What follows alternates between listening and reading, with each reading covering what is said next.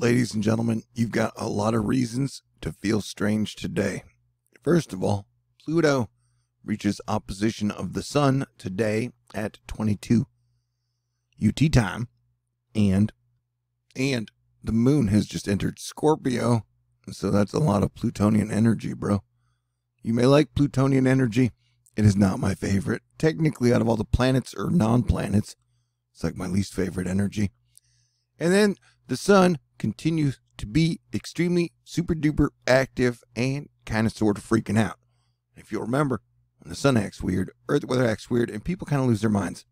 Industrial engineer Irene Quiores letting us know here's another southwest side flare from the sun. How much is happening on the far side of the sun? Question mark. And the answer is a lot. Right now on the earth facing side, we have three sunspots 2844, 2843, 2842, and they've been super active with a lot of B class and C class flares. But the backside of the sun has been super duper freaking out, going crazy. Now, how crazy? Well, we are talking four halo coronal mass ejections in about three and a half days. We just had another one happen hours ago. That was the big one from yesterday. We're about to see the big one from today. And I'm talking bam. I didn't say bam long enough to time it out. There it was. And so, yeah, the sun continues to wake up. And so be prepared for pretty crazy 48 hours, in my opinion. We've got a pretty big storm headed towards New York City as I speak. We are on the lookout for dry lightning causing wildfires in the west. We've got tornado warnings for Cameron, New York, Jasper, New York, Troupsburg, New York until 3 p.m. Eastern Time, and a large part of the eastern seaboard is under a thunderstorm watch. Pluto's messing me up. Meredith Garofalo, midday update. Ferocious Felicia remains a strong Category 4 hurricane with winds sustained at 145 miles per hour. Now, she's not a threat to anybody but the fish.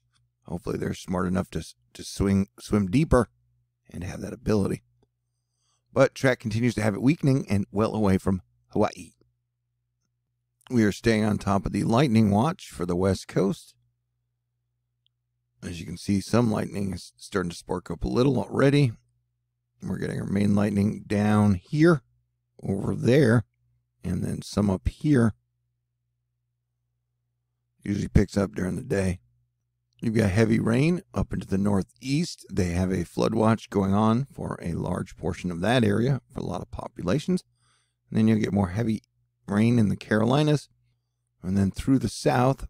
And you may get some rain into California up in the north with more monsoonal rain into Arizona and Nevada.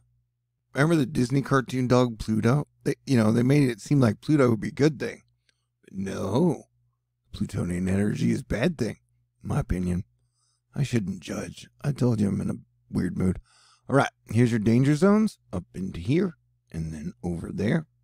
And then here's your flood watches, your flood warnings, and in the pink, and then Monday and Tuesday, the majority of Texas, Oklahoma, and a large portion of the South will have some flash flooding, locally severe thunderstorms, and travel disruptions on top of steaminess. But today, the main threats are flash flooding up in the northeast and then the dry lightning causing wildfires in the west coast of California. Though tornadoes are possible and damaging winds are possible, so it's Scorchio in the UK for areas. Popocatépetl is doing its volcano thing. You got another heat surge coming through Thursday. So, you know, stay cool, my friends. Definitely, for sure. You got the possibility of severe weather up in Canadian country. We're talking about heavy rainfall, strong wind gusts, large hail, and one or two tornadoes. Here's the timing of your lightning fire risk chart. Down here Saturday, here is Sunday. Here'll be Monday, and then your Tuesday. Germany and Belgium continue to reel and pick up the pieces from one of the worst floods we've seen in a long time. And the wildfire situation continues to be bad and will trend towards worse. Leo fire summer season begins on the 23rd, so definitely look for an uptick in wildfires and explosions starting the 23rd and then running through most of August. All right. And the fire situation is already pretty bad. This was the Tamarack fire from last night. And if you have trouble feeling doom, well, Pluto and Scorpio will be assisting you to help feel those feelings over the next 48 hours. But this too shall pass. This surprised me. Kansas had over 10 inches in Thayer and then sevens in a lot of areas. Shout out to Mikey T, healing at home. Shout out to Darlene. Thank y'all all for being awesome. And I promise to cheer up and get in a better mood within the next 48 to 72 hours. All right. Everybody have a great weekend. Stay cool, and I'll talk to y'all in the near future. God bless everyone.